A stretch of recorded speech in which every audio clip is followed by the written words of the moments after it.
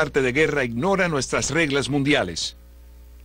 Y anda por ahí matando a jugadores inocentes. ¿Por qué matar inocentes? El juego trata de completar búsquedas. Pues debemos borrarlos del sistema. Imposible.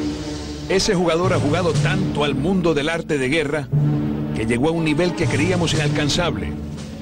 Tiene el poder de matar a nuestros miembros y se fortalece día a día. Dios santo. Debo ir a casa. Mis hijos están jugando en este momento. Jim, los personajes de tus hijos ya murieron. No. No. Si apenas empezaron a jugar. ¿Qué clase de persona haría esto? Solo una clase. Quien sea esa persona ha jugado al mundo del arte de guerra a toda hora, todos los días desde hace un año y medio.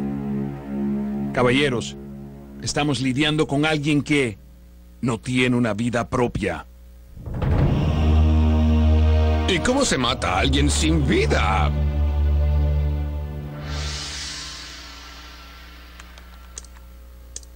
¿Sigues con tu análisis de sedimento? Ahora no, Nelson. Me uní a un grupo de duendes y vamos a explorar juntos la torre de Azora. ¿Eso es un juego? No, estúpido, es un MMORPG. Juego con personas reales, ¿ves? Soy un cazador nivel 2. Puedo charlar con toda esta gente. Hasta puedo saludar a este, ¿ves? Hola. En el mundo exterior soy un simple geólogo. Pero aquí soy Falcorn, defensor de la Alianza. Sobreviví la mina de Fargo Deep. Derroté al pez sangriento en la tierra. Hmm. Creo que ese te acaba de matar. ¿Qué?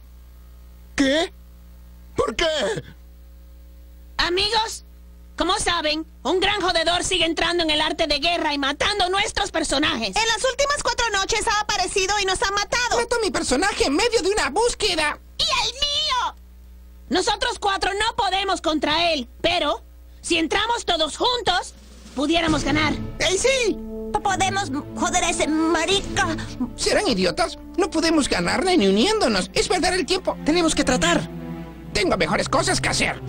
Clyde, Clyde, si pudieras retroceder el tiempo y detener a Hitler, ¿no lo harías? Digo, yo no lo haría porque lo considero genial, pero tú lo harías, ¿no? Solo dejaré de jugar.